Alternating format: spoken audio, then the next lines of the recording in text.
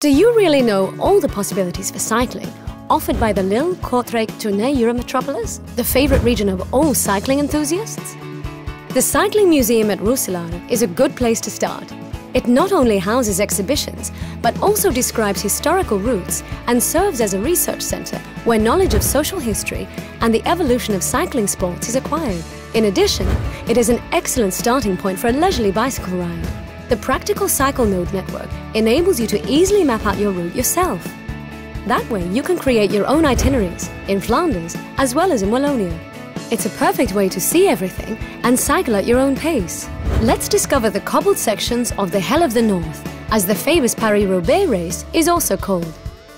The Queen of the Classics is a prestigious race, the finish line of which is situated in the new Roubaix Velodrome. This gem of modern architecture features a 250-metre track that meets the international standards and offers room for up to 3,500 spectators. But the Eurometropolis is so much more.